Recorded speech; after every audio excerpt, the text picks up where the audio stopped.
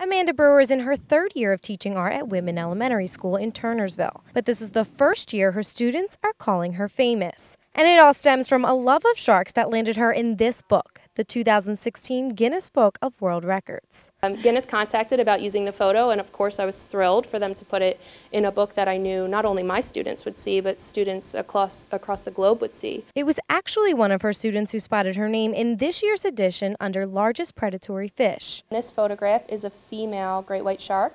She's a juvenile, she's young. All the great white sharks around Mossel Bay in South Africa are juveniles. So it's cool, largest predatory fish, talking about um, the largest great white sharks in the world, uh, stating that some could exceed 20 feet.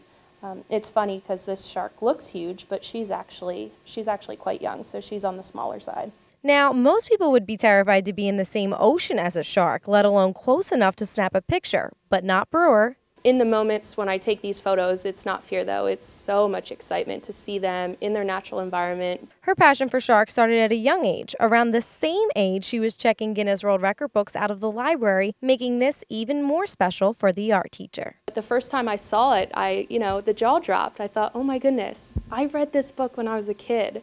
And here it is, my not only just my photo, but my name. She hopes her picture will help educate people on great white sharks, just like she tries to do when she teaches art to first to fifth graders every day. And as for next summer, she says she'll be jumping back in the water to snap some more photos. Of course, I can't stay out of the ocean. I love being underwater. So, uh, not necessarily South Africa, but there's sharks all around the world, and we'll see where I end up. I'm Kimberly Carr for SNJ Today.